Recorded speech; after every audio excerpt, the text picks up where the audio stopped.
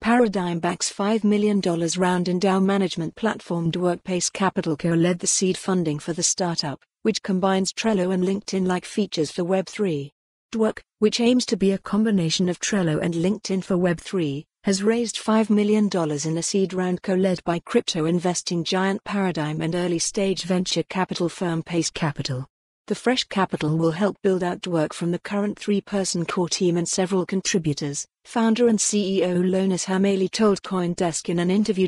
Work is a Web3 native collaboration tool where decentralized autonomous organizations, DAOs, can organize internal and external teams, manage tasks and bounties in a transparent way, and help new members get started, according to a draft blog post provided to Coindesk. Other investors in the round included former Coinbase Chief Technology Officer Balaji Srinivasan and Polygon founder Sandeep Nailwal, among others. Dework targets common pain points for DAOs, which can have thousands of members and can't use traditional project management tools like Jira or Linear that use a pay per seat pricing model, said Hamaili.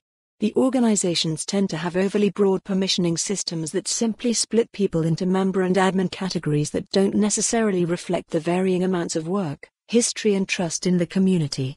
Members also can't easily build up a clear work profile of contributions across multiple DAO projects. On the project management side, Hamaili said that DAO communities want more visibility into the work of the core team and most active contributors.